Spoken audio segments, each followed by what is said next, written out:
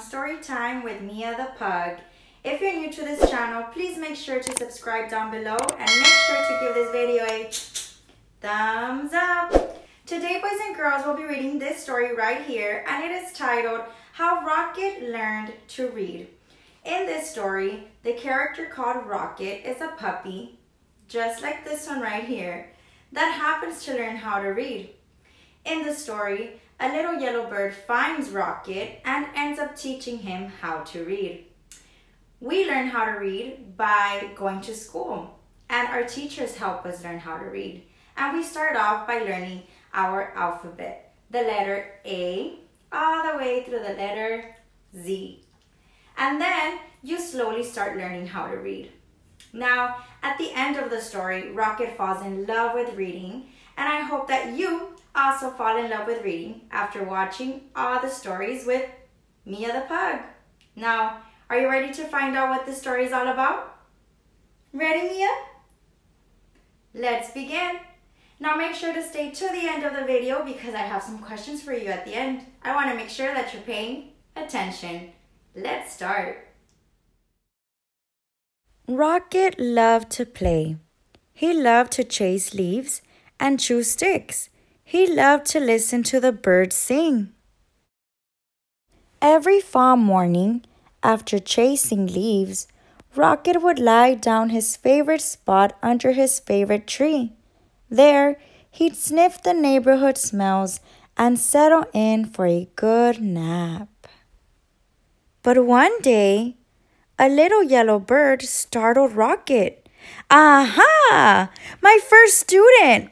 Wonderful, she sang. Rocket was confused. Student? I'm not a. But if I am your teacher, the bird interrupted, then you must be my student. Rocket found it hard to argue with this bird. I am so glad you saw my sign, the bird chirped. Oh, yes, I can see it, Rocket said. But I don't know how to read. Can't read? Fantastic, she waved a wing. Welcome to my classroom. But I just come here to nap, Rocket said. No, no, no, there will be no napping in class, declared the bird. Except, of course, during nap time.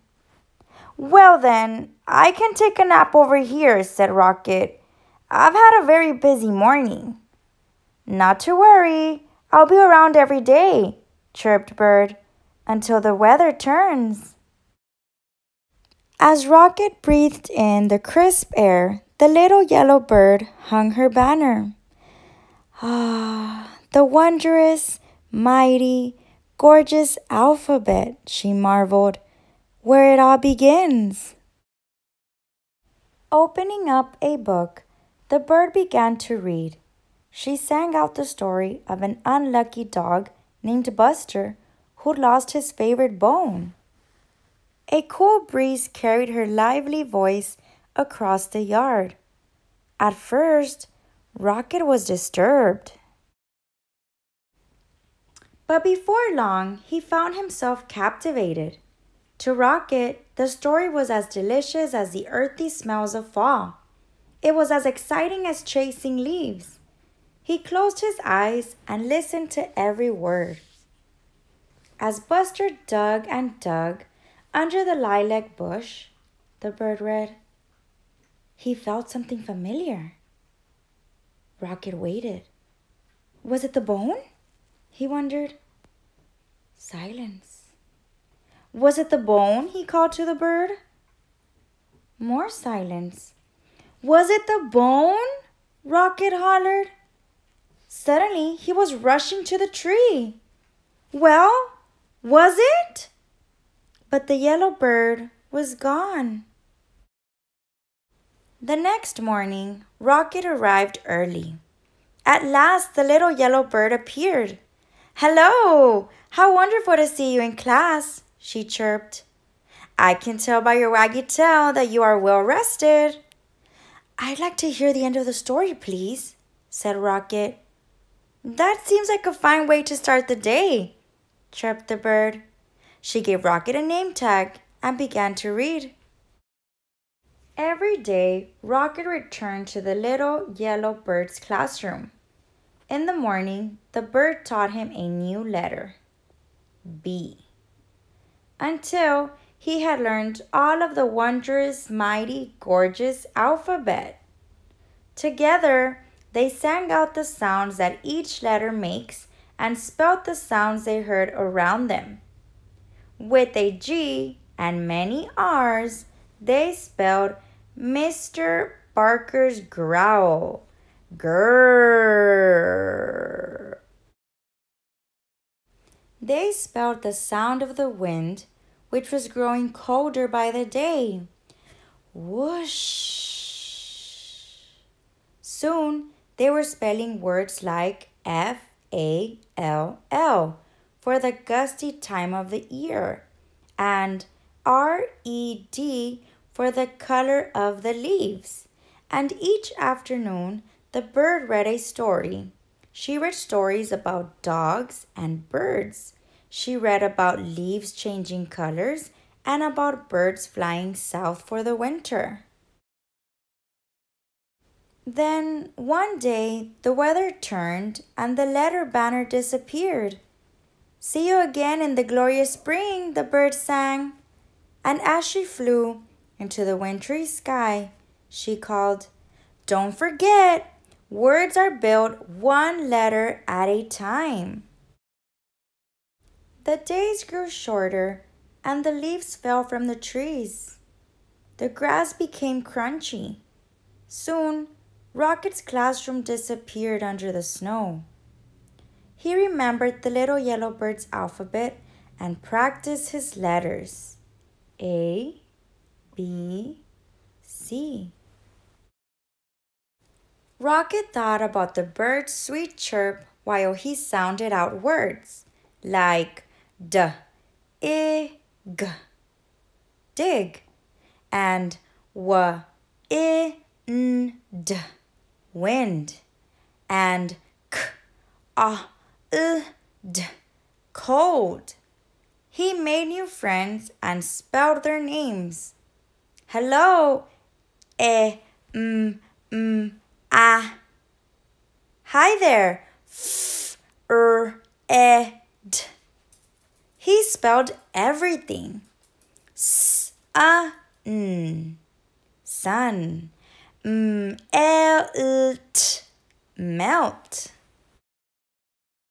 When Rocket spelled mm, uh, mud, he knew that spring, as it always does, had returned. The breeze blew warmer, the grass grew greener, and a sign appeared. Class starts tomorrow. Early the next morning, Rocket rushed to his classroom. As he waited, he spelled w a g wag. Soon, the little yellow bird arrived. Aha! My star student, she sang. How wonderful to see you. I can tell by your waggy tail that you are ready for class. Welcome back, Rocket. Then, together, they began to read. They read stories about birds flying north in the spring. They read about picnics in the warm sun.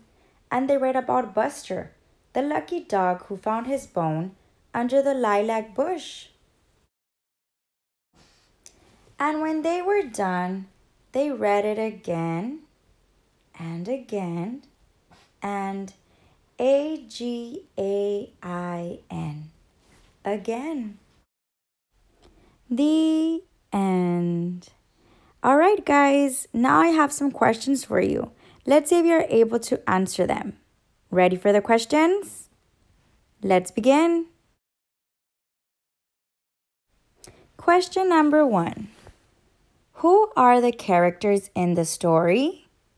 Is it letter A, Rocket and the Yellow Bird? Letter B, sheep, donkey, and pig? Or letter C, Mia the pug? If you chose letter A, you are correct. The characters in this story is Rocket and the yellow bird. Good job. Let's go on to question number two. What was the setting of the story? Now remember, the setting of the story is where the story took place. Is it letter A or is it letter B? Let me give you a couple of seconds to choose your answer.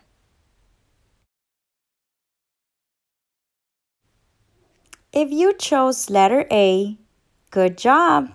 The setting of the story was letter A. As you can see, letter B has a picture of the desert. Do you think Rocket and Bird could survive in the desert? Do you think Bird would be there? Clearly not. So the correct answer would be letter A. Now, let's move on to question number three. What was the problem of the story? Was it Letter A, that Rocket was napping and he did not want to be a student or go to class? Or was it letter B, that Rocket loved to play outside? If you chose letter A, good job, boys and girls. That was the problem of the story. Rocket wanted to continue to nap. He did not want to become a student or learn.